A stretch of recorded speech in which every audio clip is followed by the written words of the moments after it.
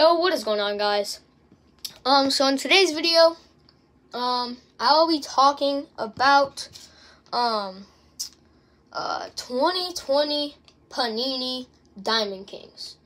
Alright, um, so, um, Panini, um, uh, Diamond Kings, 2020 Diamond Kings has been one of my favorite products of the year so far. Um, but yeah, um, just absolutely love the cards. Um, as you can see, I'll go through some base right here. Um, just the cards look so nice. Um, really love the design. Um, but yeah, uh, love all the inserts. I mean, I mean, who doesn't like that insert? Cause like they make they just do a really good job.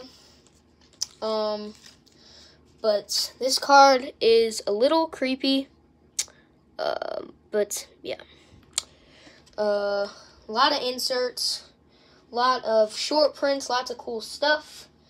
Uh, but yeah, um, obviously, Diamond Kings uh, does not have the rights um, to show any logos or um, uh, or say the team's names, but still one of my favorite products of the year so far. Um, but yeah, 2020 Diamond Kings has been super good. I've been opening it a lot on this channel lately. Um, it, they just look so nice. The cards look so nice. Sorry about that, guys. Had to take a quick cut. But anyways, um, uh, Diamond Kings, 2020 Panini Diamond Kings has been one of my favorite um, releases so far this year. Keep up the great work, Panini for Diamond Kings.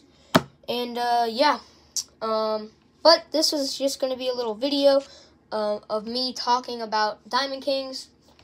And uh, yeah, um, if you guys did enjoy this video, please be sure to smash that like button, subscribe if you guys are new. Have a great day, and um, stay tuned for more content. Um, I'll be probably dropping another video today.